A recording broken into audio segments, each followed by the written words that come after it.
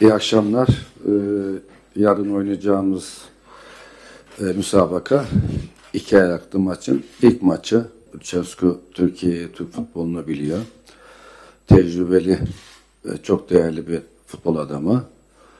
E, Dinamo Kiev'e baktığımızda da e, tecrübeli oyuncu sayısı yani yaş olarak ve tecrübe olarak sayısı az ama etkili oyuncular var. Aynı zamanda genç dinamik bir takım. Kompakt oynayan bir takım. İki maçın da zor geçeceğini düşünüyorum. Ama turu geçmek için elimizden gelen gayreti göstereceğiz. Bu turu geçmek de çok istiyoruz. Ee, iyi bir oyuncu. Yani yetenekli bir oyuncu ama tabii uyum önemli.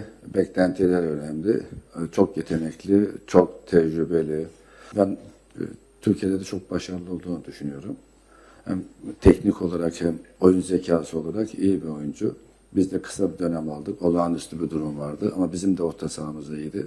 Zaman zaman şans verdik ama e, hem transfer maliyeti bakımından hem de orta sahadaki beklenti olarak transfer etmedik. Yani şu anda tabii bu müsabakayla aslında az evvel de cevap verdim ama yani her ikisi için de bu müsabakayla ilgili bir şeydi. Bunlar zaten iyi oyuncular, değerli oyuncu. Romanya, Romanya zaten oyuncu üreten bir ülke. Yeni değil, geçmişinden beri. Bütün oyunculara girersek çok ikili ilişkilerimiz oldu. Biz Romanya, Bulgaristan, çok Türkiye çok maçlar yaptık, transferler yaptık. Hepsini değerlendirmek doğru değil. Yarınki müsabakamız tamamen farklı bir müsabaka olacak. Çünkü Ukrayna'nın bir takımıyla oynayacağız. Ama Romanya'da olduğumuz için çok mutluyuz. E, Bükreş'i de seviyoruz. Değerli bir futbol adamı. Dünya futbolunda büyük bir yer olduğunu düşünüyorum. İşte az evvel söylediğim oyuncu olarak da antrenör olarak da Romanya e, futbol adamları üreten bir ülke. E, Türkiye'de de çok başarılı oldu.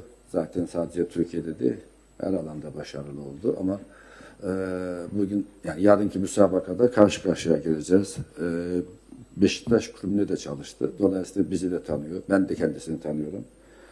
E, saygıdeğer bir futbol adamı olduğu için onu rakip takım olarak görmek kimse istemez. Çünkü tecrübeli bir hoca ama biz de kendimize güveniyoruz.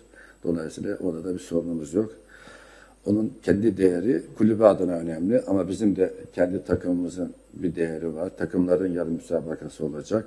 Ee, hem kendisine başarılar diliyorum hem kendimize başarılar diliyorum ama yarın da turu geçmek istiyoruz. Ya şu andaki hiçbir şey etkilemiyor. Çünkü şu anda e, müsabakaya gelirken getirdiğimiz oyuncular yarınki müsabakaya hazır olarak sahaya çıkacaklar. 1-11 çıkaracağız. Onlar içerisinde ihtiyaç olursa diğer oyunculardan değerlendireceğiz. Şu anda da gündemimizde yani bugün yarın için böyle bir transfer giden de gelen de olmayacaktır. Zaten iki maç üst üste oynayacağız. Dolayısıyla kadromuz da belli.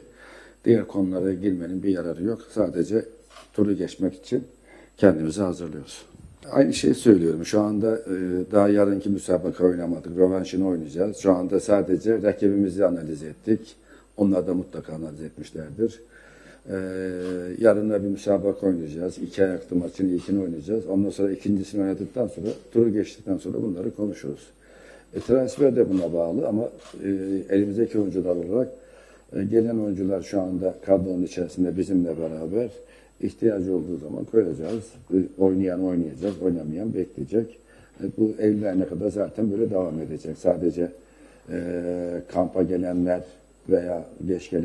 Hepsi de hazır olmak durumunda. Ne kadar süre verebiliriz onu yarım maça göre değerlendireceğiz. Haftaya da bir maçımız daha var çünkü. Teşekkür ederiz hocam. Thank you. Sağ ol.